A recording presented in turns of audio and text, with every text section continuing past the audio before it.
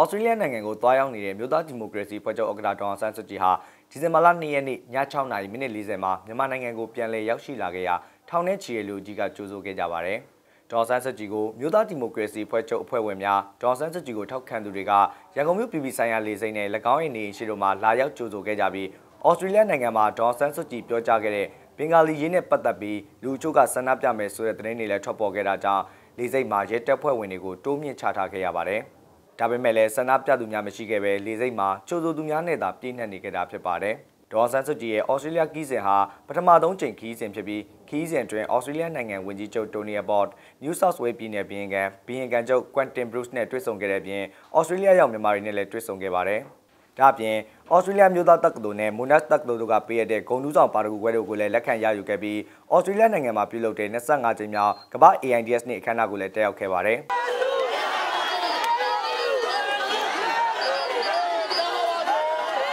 ဩစတြေးလျနိုင်ငံခီးစဉ်ကိုဒေါန်ဆန်းစုကြည်နဲ့အတူအမျိုးသားလွှတ်တော်ကိုယ်စားလှယ်ဦးသိန်းဆွေ